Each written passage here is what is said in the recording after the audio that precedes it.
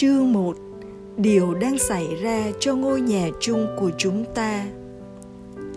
Việc mất cân bằng, sự đa dạng sinh học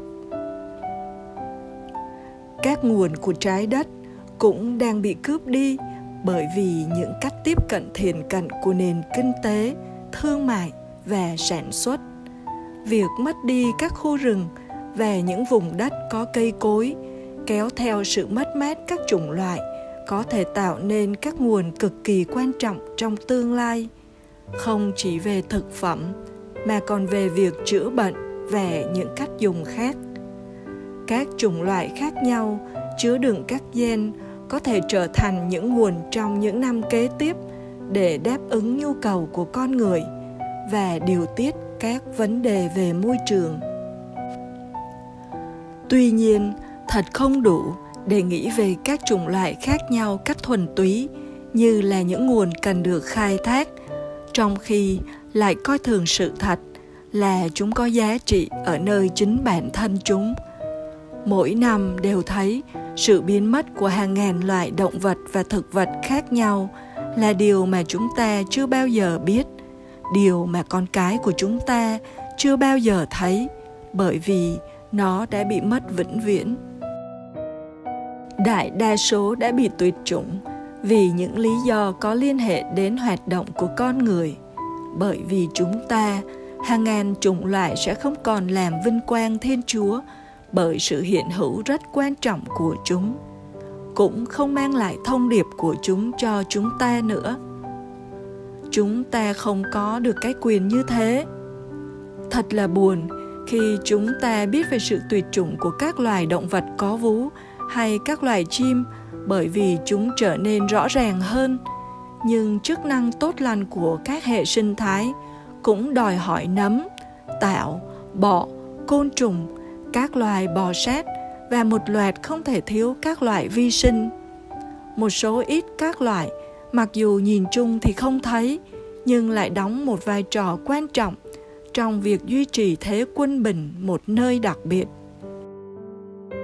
con người nhân loại phải can thiệp khi một hệ sinh thái địa lý đã rơi vào tình trạng nghiêm trọng.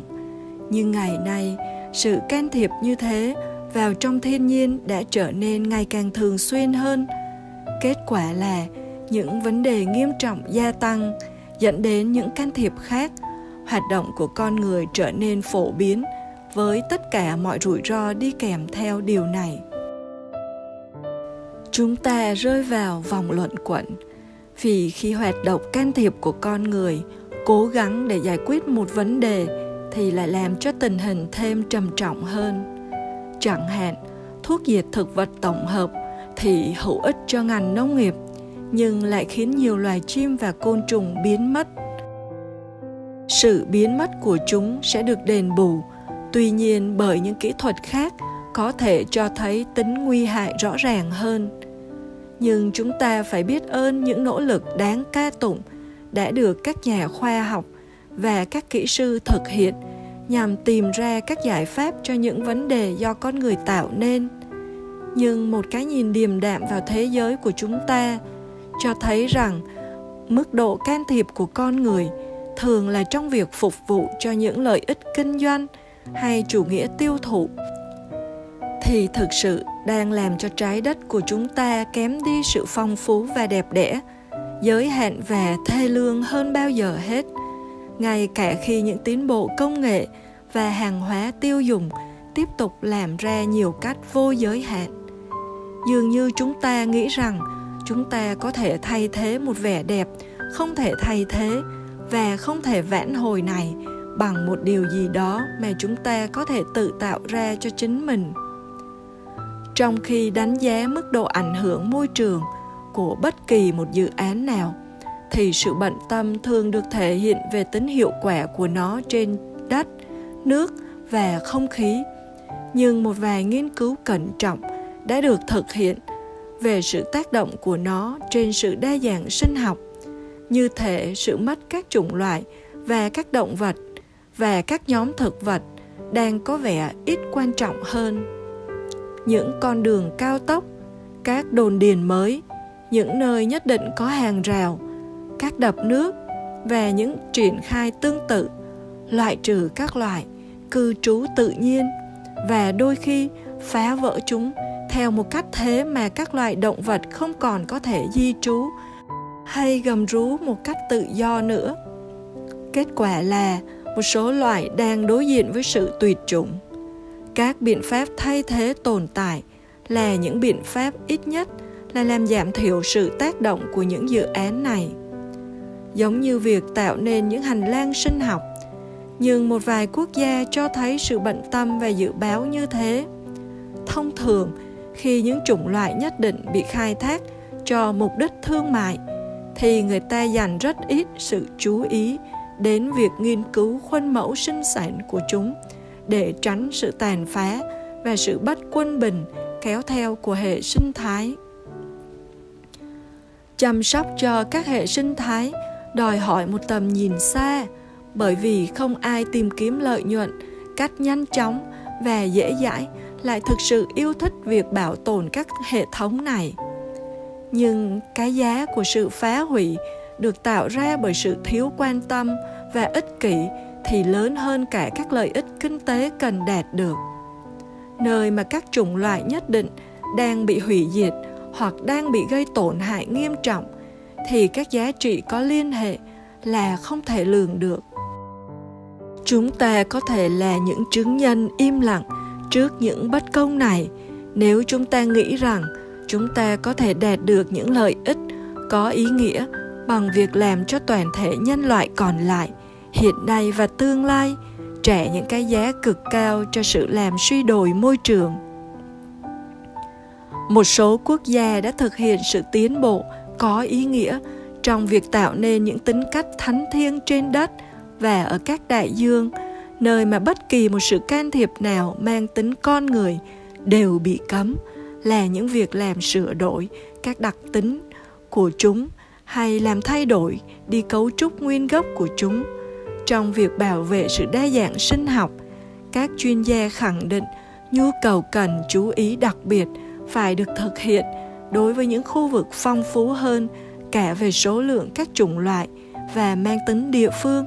các chủng loại hiếm hay ít được bảo vệ hơn.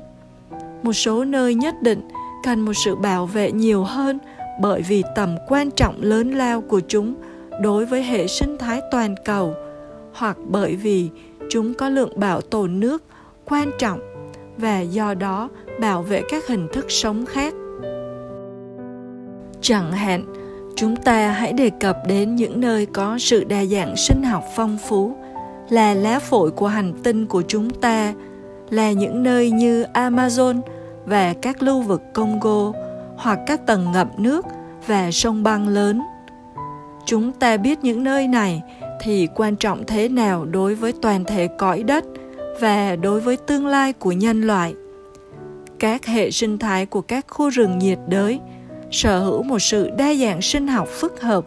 và vô cùng quan trọng, vô cùng lớn lao, vốn là một điều mà hầu như không thể trân trọng một cách đầy đủ. Nhưng khi những khu rừng này bị thiêu rụi hay bị hạ xuống mức độ cho các mục đích canh tác bên trong không gian của một vài năm, thì vô số chủng loại sẽ biến mất và những khu vực này thường trở thành những vùng đất bỏ hoang khô cằn. Một sự quân bình tinh tế cần phải được duy trì khi nói về những nơi này, bởi vì chúng ta không thể xem thường những lợi ích kinh tế mang tính toàn cầu là điều ở dưới vẻ bề ngoài của việc bảo vệ chúng, có thể làm suy giảm quyền tối thượng của các quốc gia cá nhân. Thực ra, có những đề xuất nhằm quốc tế hóa rừng amazon là những đề xuất chỉ phục vụ cho những lợi ích kinh tế của các tập đoàn xuyên quốc gia. Chúng ta không thể không ca ngợi sự dấn thân của các cơ quan quốc tế và các tổ chức xã hội dân sự là những tổ chức cuốn hút sự chú ý của công chúng đến với những vấn đề này và đưa ra sự hợp tác rất quan trọng. Áp dụng các phương tiện gây áp lực hợp pháp để đảm bảo rằng mỗi chính phủ cần thực thi trách nhiệm đúng đắn và bất khả xâm phạm để bảo tồn môi trường và các nguồn thiên nhiên của đất nước mình, mà không đầu hàng trước những lợi ích địa phương hay quốc tế ngụy tạo việc thay thế khu rừng nguyên vẹn bằng những đồn điền cây xanh thường là dạng độc canh thì hiếm được phân tích cách đầy đủ. Tuy nhiên, điều này có thể lấn loát cách nghiêm trọng một sự đa dạng sinh học là sự đa dạng mà các chủng loại mới được giới thiệu không trợ giúp được gì. Tương tự, những vùng đất ngập được chuyển thành đất canh tác sẽ làm mất đi sự đa dạng sinh học khổng lồ là một sự đa dạng mà những vùng này trước đây nắm giữ. Ở một số vùng đất biển thì sự biến mất các hệ sinh thái được nuôi dưỡng bằng những đầm lầy ngập mặn là một nguồn của sự bận tâm nghiêm túc. Các đại dương không chỉ chứa đựng một lượng khổng lồ nguồn cung cấp nước cho hành tinh của chúng ta, nhưng còn có hầu như sự đa dạng vô cùng các sinh vật sống nhiều trong số đó, chúng ta vẫn chưa biết đến và đang bị đe dọa vì nhiều lý do khác nhau. Điều hơn nữa là sự sống biển ở nơi các sông ngòi, các hồ, biển và đại dương là sự sống đang nuôi phần lớn dân số thế giới, đang chịu ảnh hưởng bởi việc đánh bắt cá không kiểm soát, dẫn đến một sự hủy diệt ghê gớm của một số loài nhất định đặc biệt, bị đe dọa là các sinh vật biển mà chúng ta có khuynh hướng coi thường, sống như một số hình thức phiêu sinh vật. Chúng đại diện cho một yếu tố quan trọng trong chuỗi thực phẩm ở đại dương. Và nhiều loại đã sử dụng cho nguồn thực phẩm của chúng ta cũng lệ thuộc vào chúng hoàn toàn. Ở những vùng biển nhiệt đới và phụ cận nhiệt đới chúng ta thấy các loại đá ngầm san hô có thể so sánh với những cánh rừng rộng lớn trên đất liền bởi vì chúng là nơi trú ẩn của sấp xỉ một triệu chủng loại bao gồm cá, cua, động vật thân mềm, bọt biển và tảo. Nhiều loại đá ngầm san hô đã thực sự bị bào mòn hoặc ở trong tình trạng suy thoái liên tục. Ai đã làm cho thế giới kỳ diệu của các vùng biển trở thành những nghĩa trang dưới nước bị tước mất sắc màu và sự sống? Hiện tượng này là do phần lớn bởi ô nhiễm vốn đã chảy ra tới biển như là kết quả của nạn phá rừng, độc canh nông nghiệp, chất thải công nghiệp và các phương pháp đánh bắt cá mang tính hủy diệt. Đặc biệt là các phương pháp dùng chất cyanide và thuốc nổ. Nó bị làm cho nghiêm trọng hơn bởi sự gia tăng nhiệt độ của các đại dương. Tất cả điều này giúp chúng ta thấy rằng mọi sự can thiệp vào thiên nhiên có thể có những hậu quả vốn không tỏ tường ngay và rằng một số cách khai thác các nguồn tài nguyên cho thấy phải trả giá xét về mặt làm suy giảm mà cuối cùng chạm tới chính chiếc giường đại dương. Sự đầu tư lớn lao hơn cần phải được thực hiện trong việc nghiên cứu, nhằm hiểu cách đầy đủ hơn nữa về chức năng của các hệ sinh thái và sự phân tích đủ các biến khác nhau có liên hệ đến bất kỳ một sự thay đổi mang tính ý nghĩa nào của môi trường. Bởi vì tất cả các loài thọ tạo đều có liên hệ với nhau. Mỗi loại phải được nuôi dưỡng bằng tình yêu và sự tôn trọng. Vì tất cả chúng ta là những sinh vật sống, đang lệ thuộc vào nhau, mỗi vùng là chịu trách nhiệm chăm sóc gia đình này. Điều này đòi hỏi việc thực hiện một sự khám phá cẩn trọng các chủng loại mà đất nước ấy có, bằng một quan điểm